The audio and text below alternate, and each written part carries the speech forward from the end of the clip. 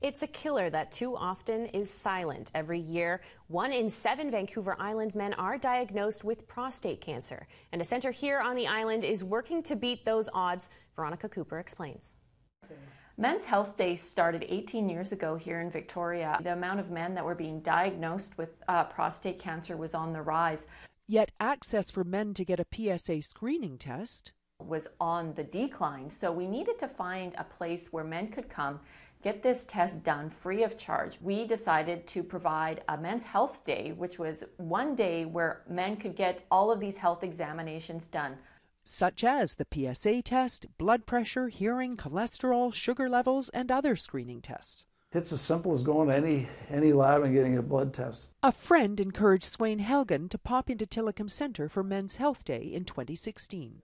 I ended up going, and uh, uh, jumped on my bike, went out, and uh, and and got tested, and and it, uh, the PSA came back a little elevated, and so my I was referred to my doctor. He called, and uh, and that's where it all started. Swain learned he had prostate cancer. I had surgery early and got it early, and it's really thanks to the Island Prostate Center and a few people that really pushed me to to go to Men's Health Day and uh, get tested. That's where it started for me. Country Grocer has sponsored this event for 15 years. Uh, over the years, it's become more and more successful. I think we screened over 300 men last year. As we all know, men don't like going to the doctor, so it's a, a nice, easy way for us to all go get checked out. The Island Prostate Center supports men and their families through every step of their cancer journey.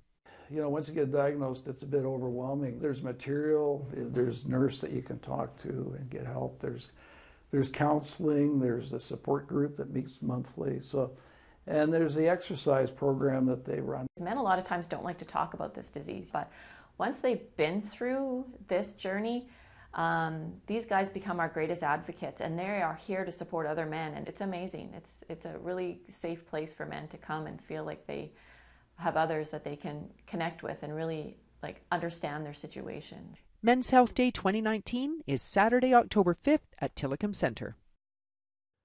Vital People is brought to you in part by the Victoria Foundation, connecting people who care with causes that matter.